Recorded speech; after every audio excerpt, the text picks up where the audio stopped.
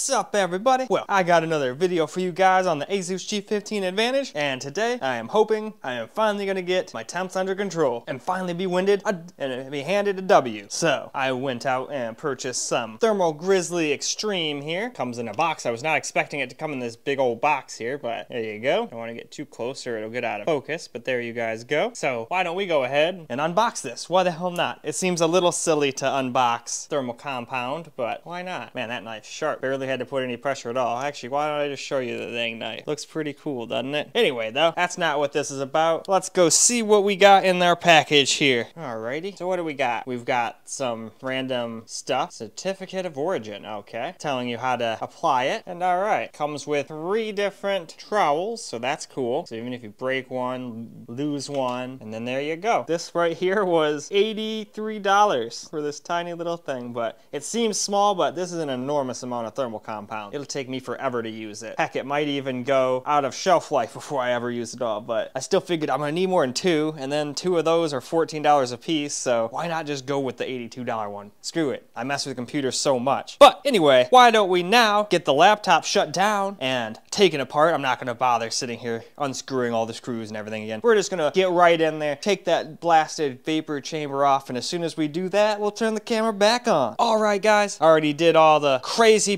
parts like taking it apart and whatnot and putting the new screws in. Now this time I decided to combine two washers with the spring this time instead of three. Figured maybe three wasn't actually making as much contact as I thought, you know? The spring might do better because the spring fills in that gap and has tension. Whole point it's in there. So, and then we also put all the goop on, took all of the thermal pads off and replaced it with goop. Hell, you can even see some of the goop through that. So I guess some of that stuff didn't need the goop. Whatever, it's non-conductive. It ain't gonna hurt nothing. So now, why don't we go ahead and get this thing put back together so we can start it up. Hopefully it still starts, but I didn't see any sparks or whatnot. I never do unhook my battery. I had one bad experience when I was younger where I wasn't careful and I broke the dang connector off. And then at that time it wasn't easy to get a battery anymore. So it was just a bad time. So I don't even bother with it. As long as you're not messing around with metal or whatnot, you, it, you shouldn't have a problem. Like the only thing I could see being a problem is if you, like let's say this thing was off and you took like these metal tweezers and started trying to maybe clean out some of the goop, then it might bridge two connections and spark. So that's exactly why instead I have this guy. I took a little wooden toothpick. That ain't gonna do nothing. You just have to be careful not to push so hard that you break off any of the little things. There's a bunch of delicate little stuff, but I was good and I got rid of all of the old putty, all of the thermal pads and everything. So it should have optimum uh, capabilities here. And I made sure I put thermal compound on every single one of these. So we should be really fucking good and good to go. So I'm gonna put the casing back on and then we will go ahead and see how it does. Hopefully we finally got good temps. Well, all right, real quick before I put it back together, since I don't show this part very often, I figured I would show you guys how to reinstall these little guys. So all you're gonna wanna do is take your tweezers and you can grab it like that to get it started, and then just make sure, I'm going to, this time I'm gonna make sure I don't get my fingers in the way on that one. Make sure it's held completely straight, make sure it's pushed in there, drop that little guy down, give it a little tug, he doesn't come back out, so he's good. So now we can do the same thing with this guy right here. All right, let's try to grab him like this. This will work better. Here we go. Come on. I was never the best with these finite movements, but here we go. And again, give it a little teeny tiny tug, not too hard. You don't want to break it, but just to make sure it actually is in there all the way. Otherwise, you'll put this thing all the way back together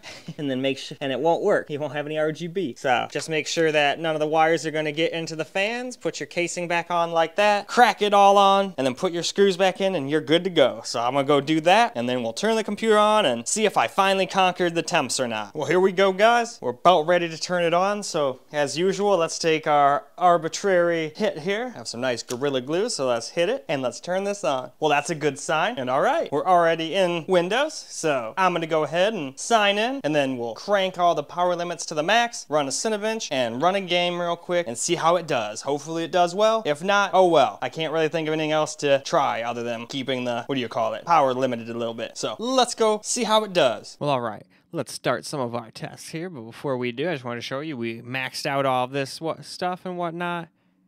So now all we've got to do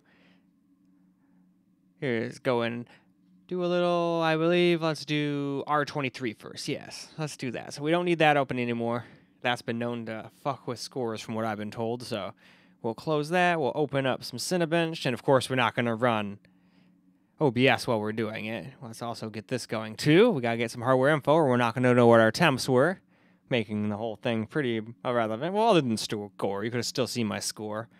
But all right, we're gonna run multi and single, so I'm gonna go run that. But first, I'll turn off OBS. Well, here's what we got for score. So we didn't get quite 13,000 anymore, but we still got 12,000, and uh, the same single core as before. So we didn't really gain nor lose anything here, though we did get a little bit worse multi-core, but sometimes that happens to me. Anyway, though, let's move on to the next test, shall we? Well, here's Fire Strike. We got 27,645. There's 34,500 for the graphics, 24,105 for physics, and 12,148. So not bad, and this is with no external monitor, by the way. This is just on the laptop itself. So now let's scroll down and see what we got up to. Nope, we got up to 96 still. Figured if we did during the Cinebench, why wouldn't we get up to during this too? All right, though, let's go see what we got on the other guy here. Okay, well, that's not bad. We only got up to 83. So that's not bad, but that is not, Fire Strike's not that hard to run, so why don't we now go ahead and move on to Time Spy? Well, now, here's our Time Spy score. We got 11,223 but this is just on the laptop screen itself. We're not on external. If I went and get an external monitor, we'd probably be at average or slightly above. So not bad. Graphics score of 11,561 and CPU score of 9,631. Now let's go check our temps.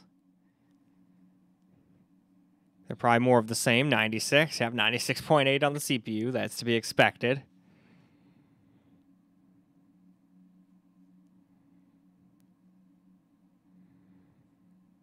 All right, here we go, and 87 and all that stuff again. So about the same as it was before. I mean, the memory might be slightly cooler than it was before. But besides that, everything seems about the same as it was. So doesn't seem like getting rid of those thermal pads really helped.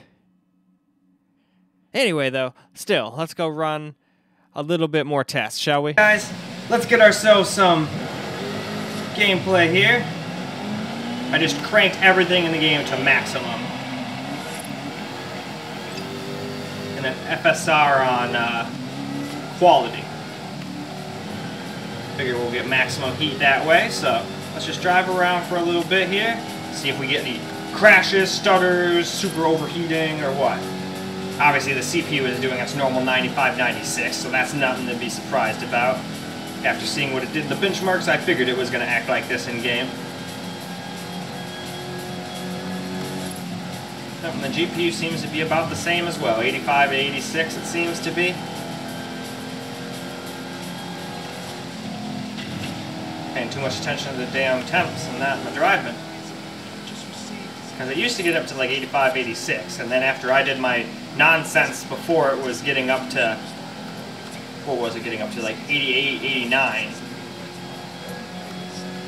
Hotspots being about the same too, 100, 101. Taking a shortcut.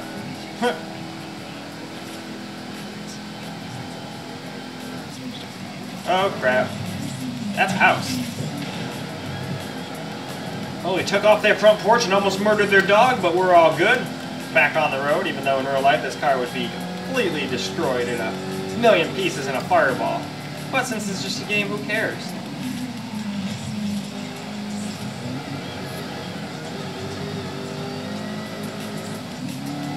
Alright, nope, it still gets up to 87 sometimes, so we're right where we were before. So unfortunately, if you want to run everything completely unrestricted, these are just the temps you're going to get as far as my laptop goes.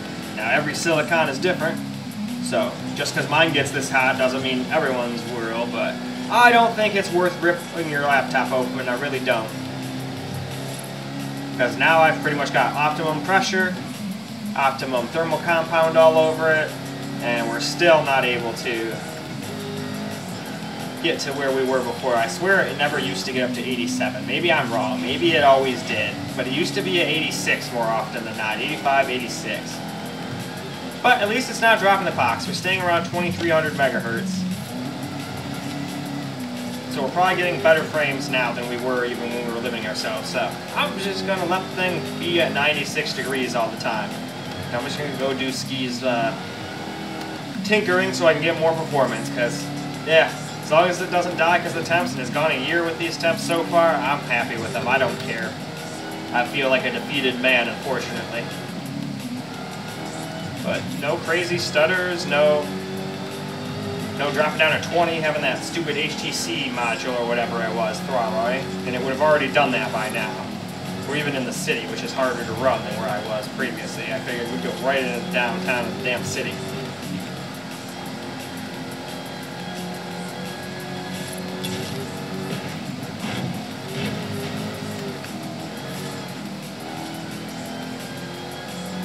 But alright though, I think that's more than enough gameplay. So why don't we now go wrap this video on up? Well, we just got done with some Forza Horizon.